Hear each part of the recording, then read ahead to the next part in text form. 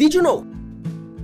You can continuously fire your guns in Red Dead Redemption 2 without having to reload? Let's take a small travel to the town I caused the most mischief in this game, Van Horn. Once we reach Van Horn, take out any weapon of your choice and start shooting. For this trick to work, you have to continuously enter Deadeye when you have at least one bullet left in your chamber. So you will have to either pay attention to your ammo or know how much ammo the weapon or weapons you wanna use can hold.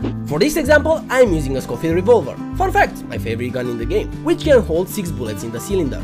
Now you can either enter Deadeye and mark up to a maximum of 5 X's on any target, shoot your weapon, exit Deadeye, then enter Deadeye again and as you can see my weapon auto reloaded without having to go through the reload animation. Or you can fire your weapon up to 5 times without being in Deadeye, then enter Deadeye and your weapon will auto reload.